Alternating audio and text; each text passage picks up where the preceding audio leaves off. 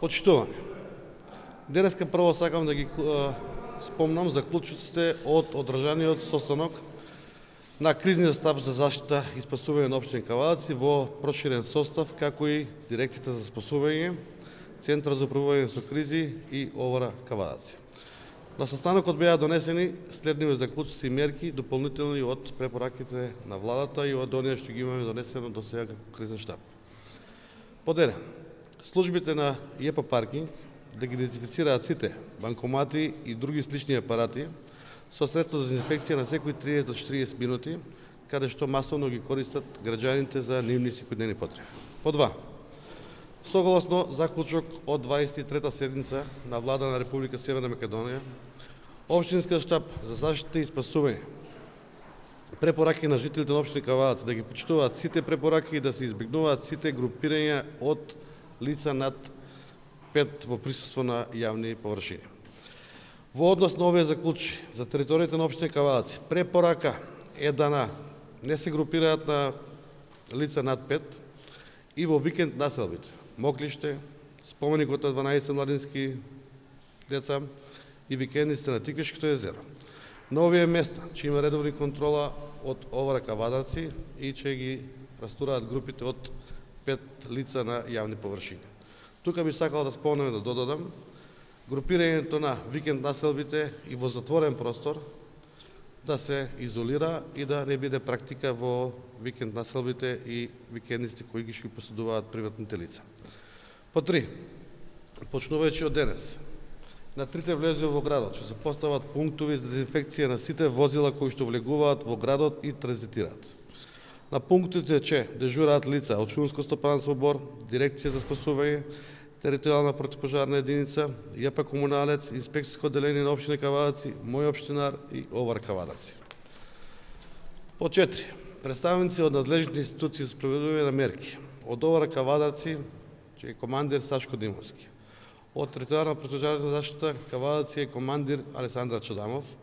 Национални шуми Шумско стопанство Бор, шеф на одделение за заштита шумиски шуми Петко Ристовски, Дирекција за спасување раководител Драган Котев, Центар за управување со кризи советник Виолета Јованова, Општина Кавац, локална самоуправа, инспектор за живота средина Донилов, раководител на инспекцијско одделение Драган Рамов и ЈП комуналец, раководител на сектора за хигиена Петар Камчевски.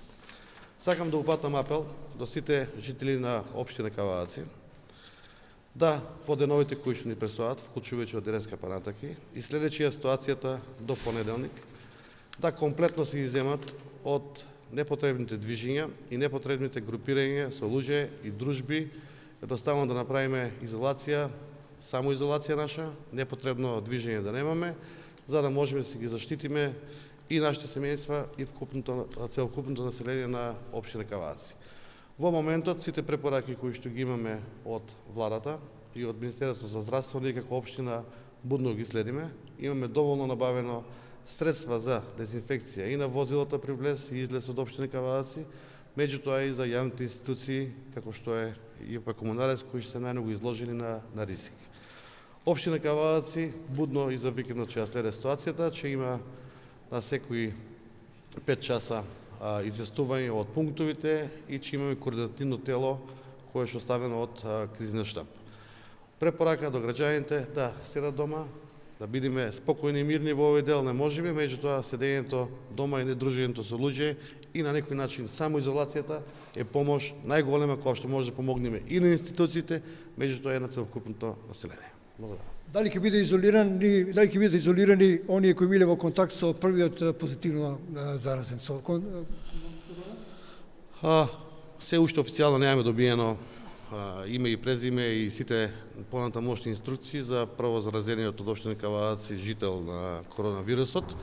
Од сите тие информации кога ќе ги добиеме од Министерството за здравство, ние веднаш ќе постапиме за понатамошни инструкции и понатамошни изолации во делот на лицата кои што биле во дневна или во потесна комуникација со самото лице. Знаете и Министерството за здравство ги препорачува сите мерки кои што треба, меѓутоа само иницијативата и дигањето на свеста е најголема заштита и мерка во овој ваков период за да заштитиме до овој временски период на инкубација. Не го прошириме во општина Каваци, не дозволиме ова пандемија и се прошири во максимално ниво, односно да не ја дозволиме да се шире, а со средства за дезинфекција на јавните површини, на влезовите у градот, ние ќе го заштитиме градот надворешно. Меѓутоа, самите луѓе кои што ги имаме, како жители на општина Кавадач, мораат само да се заштитат за да побрзо помине инкубација. Инел го носи најбрзиот оптички интернет до вашиот дом.